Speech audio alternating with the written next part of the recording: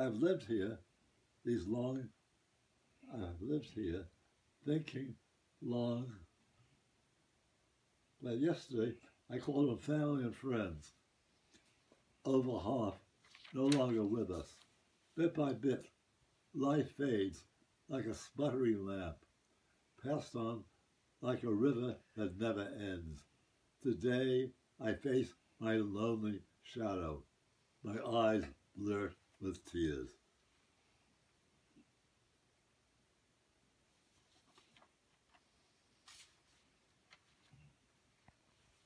Cold Mountain is full of weird sights. People who, cl- who claim here always get scared. When the moon shines under sparkling clear, when the wind blows, graves switch, uh, grasses switch and rattle. Now,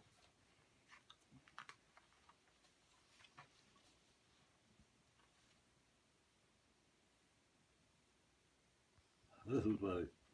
My mind is like an autumn moon, reflected in a glimmering pool. No, that's not a good comparison. Tell me, how shall I explain?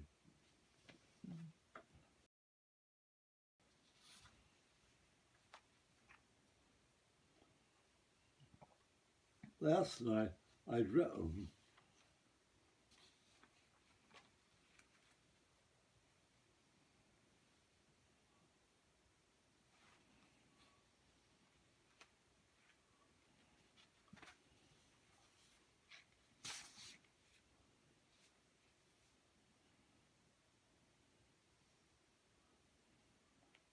The world has a full, full of fools. They see Buddhas they don't recognize. Meet monks they don't understand. Unable to ponder deeply, they think they are, are immortal. They steal silver and gold and leave it all behind.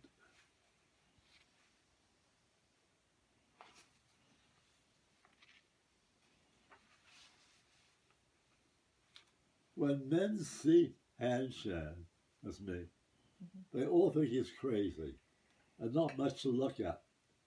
He's dressed in hides and rags. They don't get what I say, nor do I talk their language. All I can say to them is to try and make it to, home, to Cold Mountain. Well, from Invitation Cold Mountain. I might others have told this implies, this inspired me to try my own at writing verses in the spirit of Cold Mountain. Here are some I came up with. Cold Mountain's converging cliffs remind me of man's twisted life. He goes aimlessly from here to there, not knowing if he would but embrace the Tao. Ah, ah. Movement would cease, and it would recover his original nature. The Tao is like a wandering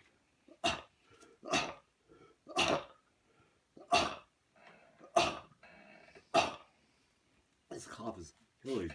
Mm. Yeah, you're congested. The Tao is like a wandering cloud, not knowing its destination, but getting there nevertheless.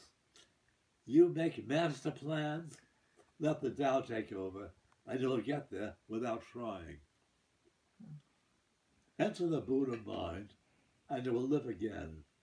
Only this time, with no tangled mind. The Buddha nature embraces all and is available to everyone.